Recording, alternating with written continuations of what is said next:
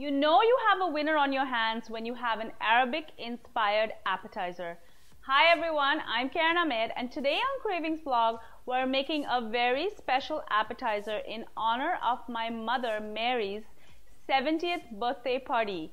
Introducing the marinated chicken ball.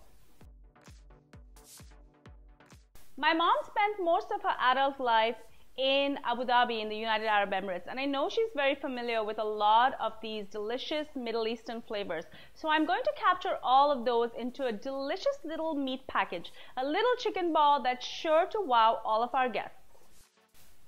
I'm starting with a pound of lean ground chicken. You can use turkey as well if you prefer. And to this, I'm going to add a whole bunch of amazing Middle Eastern flavors. Let's start with a teaspoon of red chili flakes. That's going to add a beautiful color to this chicken ball. And then I'm going to follow that with a teaspoon of oregano, a teaspoon of smoked paprika. That in itself gives an amazing flavor to the chicken.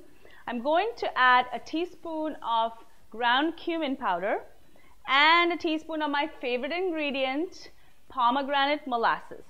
But that's not all. I'm going to mix in some feta cheese, a little bit of red onion, about half a red onion, and I'm also going to add salt, pepper, and finely chopped parsley.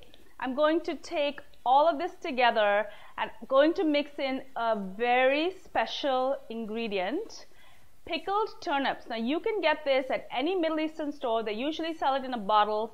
You can just pick it up. It's very bright pink in color and I'm going to chop that up really fine and I'm going to add this into the chicken mixture. Then I'm going to take everything, mix it together really, really well and I'm going to form little balls out of it. Once the chicken balls are formed, I'm going to cook them in some really hot oil for about five to seven minutes.